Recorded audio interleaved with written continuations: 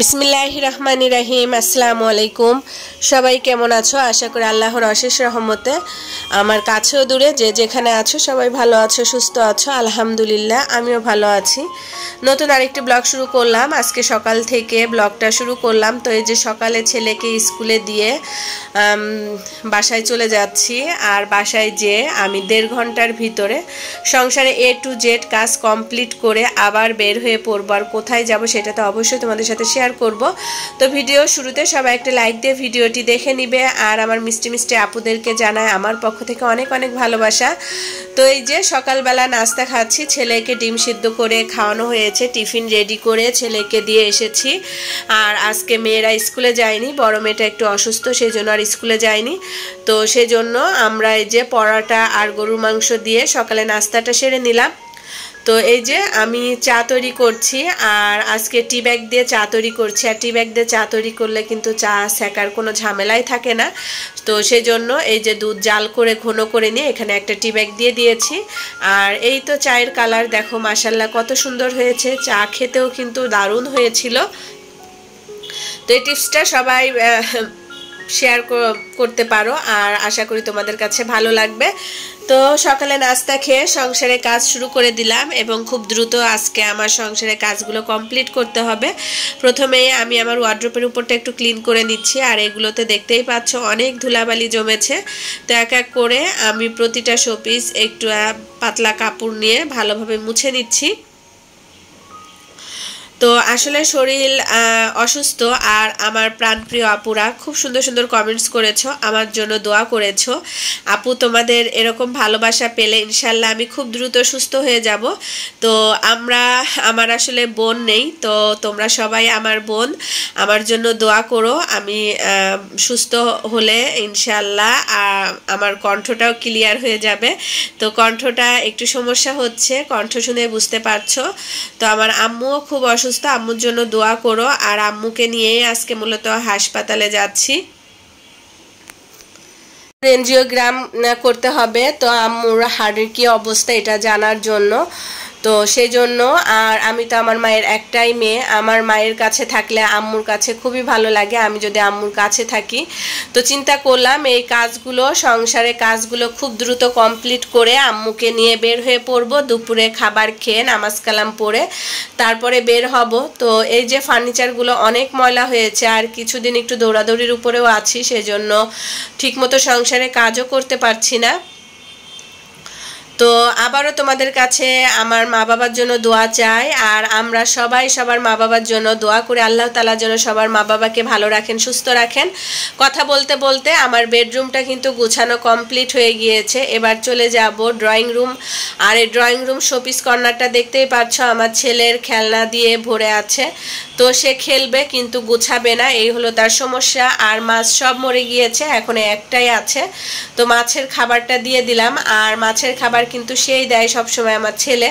তো এখন দিয়ে দিলাম আর দিয়ে এখন এই কর্নারটা একটু ক্লিন করে নিচ্ছি।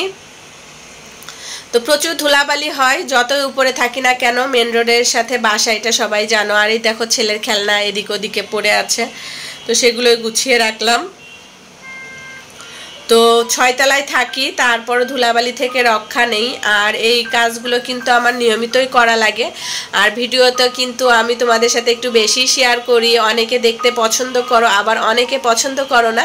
কিন্তু আমাদের ডেইলি ব্লগে এগুলো ছাড়া আর কি বা তোমাদের সাথে শেয়ার করব বলো?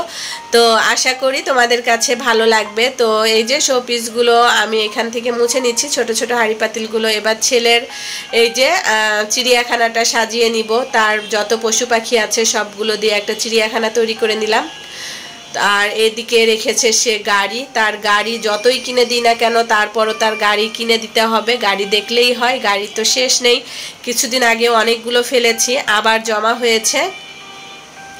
তো ছেলে বাচ্চা থাকলে এরকমই মনে হয় হয়, ঠিক না? আমার অন্যান্য আপুদের কি ক্ষেত্রে এরকম হয় কিনা অবশ্যই জানাবে।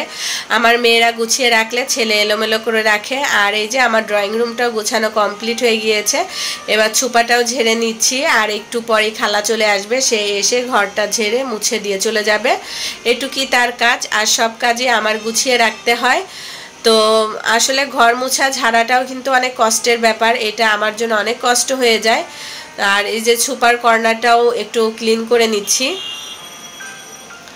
তো ওই যে বললাম যে আমরা কিন্তু কেউ কাউকে দেখিনি, অন্ধের মতো আমরা সবাই সবাইকে ভালোবাসি। আর তোমাদের খুব সুন্দর সুন্দর কমেন্টস আসলে আমি মনে নেই, আর বলতেও পারছি না। আপুরা যে এত সুন্দর সুন্দর কমেন্টস করো, আমার পড়তে খুব ভালো লাগে এবং পড়ি আমি আর হাসি তোমাদের কমেন্টস পড়ে। তো আমার ফ্রিজের যেই হ্যান্ড কাভার আছে, সে হ্যান্ড কাভারটা অনেক তৈলাক্ত হয়ে গিয়েছে। তো সেটা আমি আজকে পরিষ্কার করে নিব। আর এখানে আমি পানি ফুটিয়ে তারপরে এক চামচ ডিটারজেন্ট দিয়ে দিয়ে দিয়েছি। ডিটারজেন্ট দিয়ে, তারপরে হ্যান্ড কাভার দিয়ে কিছুক্ষণ একটু জাল করে নিব। তো দেখবে এখান থেকে কতটা কালো কালো ময়লা বের হয়।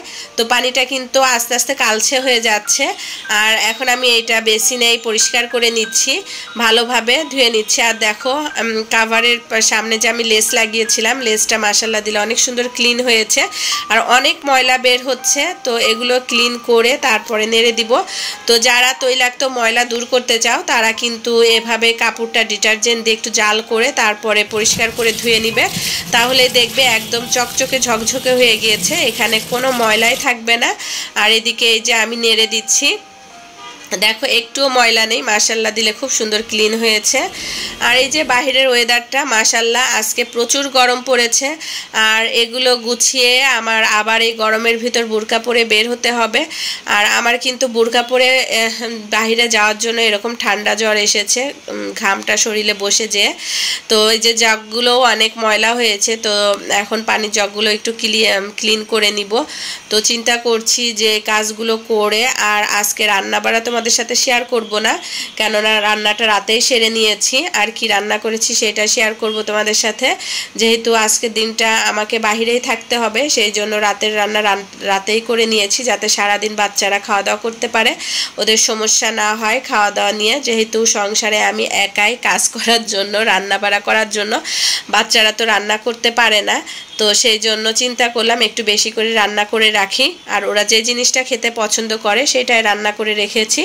যাতে খাবার নিয়ে নষ্ট না করে বা খেতে না চায়।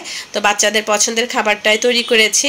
তো এদিকে আমার জগগুলো কিন্তু পরিষ্কার হয়েছে। জগগুলো পরিষ্কার করে তারপরে এখানে আমি পানিটাও সাকনি দিয়ে সেকে রেখে দিয়ে যাব যাতে ওদের কোনো সমস্যা না হয়। আর আমার ছেলে আসলে আমার বড় মেয়েকে গোছল করিয়ে খাবার খাওয়ায় ঘুম পাড়িয়ে দিবে। তো এটা নিয়ে কোনো টেনশন নেই। আমার বড় মেয়ে অনেক কাজে আমাকে হেল্প করে এবং অনেক কিছুই সে বোঝে। মাসাল্লাহ দেখতে দেখতে ক্লাস নাইনে উঠে পড়েছে। এখন আমার হেল্পিং হ্যান্ড হিসাবে অনেক কাজই করে আমার মেয়ে। তো পানির জগ এখানে টেবিলে রেখে দিলাম আর মগটার উপর একটু ঢেকে রাখলাম। আর এই তো আমার কিন্তু কাজকর্ম প্রায় গুছানো কমপ্লিট হয়ে এসেছে।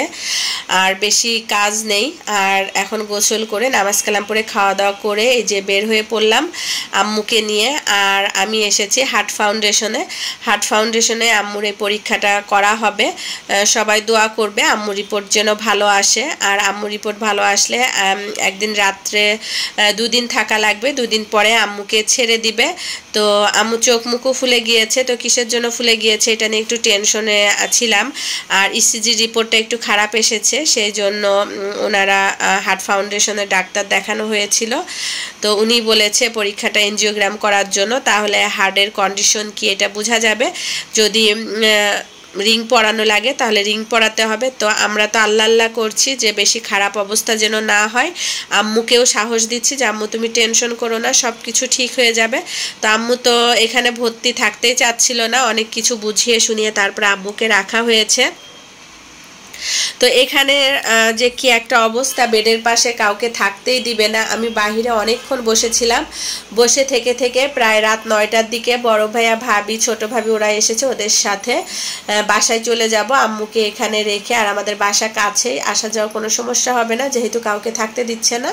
তো এই যে রাতের বেলা রান্না করে রেখেছিলাম কচুর দিয়ে ইলিশ মাছ রান্না করেছিলাম।